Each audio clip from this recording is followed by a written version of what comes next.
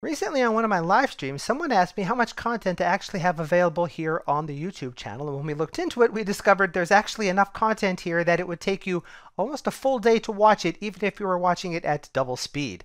However, only about an hour's worth of that time is dedicated to showing you packages that you might find useful in your usage of Sublime Text. And I think I should probably change that.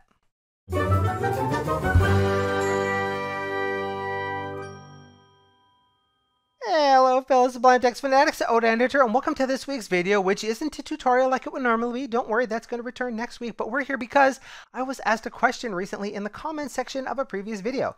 And that question was this one, which was basically, could I provide more video content here on the channel that teaches you what packages you might like to install and how to install them and how to use them to get more out of Sublime Text, basically in a nutshell. Now there is actually content like that already available on the channel. There's a playlist that's linked down in the description of the video that covers it. There's seven videos in there covering seven different packages, although one of them is one that I really no longer currently recommend. But in any case, I really think it's a good idea for us to refresh this topic and get more content available for it on the channel to help you guys get the most out of Sublime Text. But in order to do that, I'm going to need your help.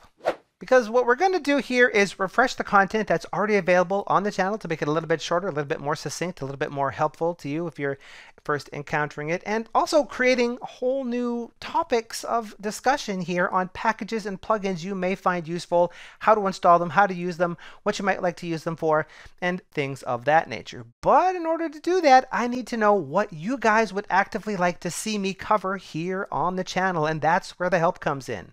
Now I do have a small list of packages that we're going to cover in this video series, things like adding code intelligence and navigation to Sublime Text, or doing things of a more visual nature like visualizing and editing colors for those of us that are doing things like that, say for example in a web page, but we're going to need more content. And to that end, this is why I am asking you, what would you like to see in this video series? Is there something you do in Sublime Text that you find the support lacking for?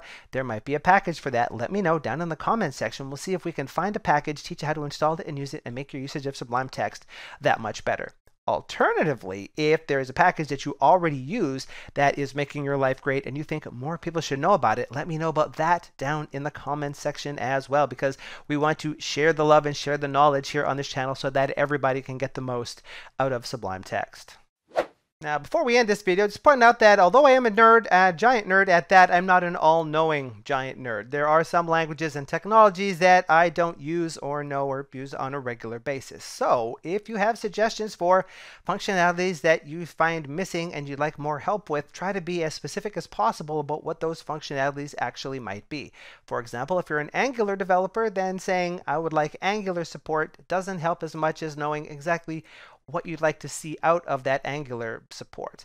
Uh, that will allow me to help you that much better. That's all we have for this week. I know it's not a tutorial, not to worry, that's going to return next week. As a matter of fact, right now on the screen, you should see another tutorial that's available here on the channel that will help you out in your usage of Sublime Text. Next week, tutorials will be back, and until then, this is OdatNurd asking you to please have a sublime day.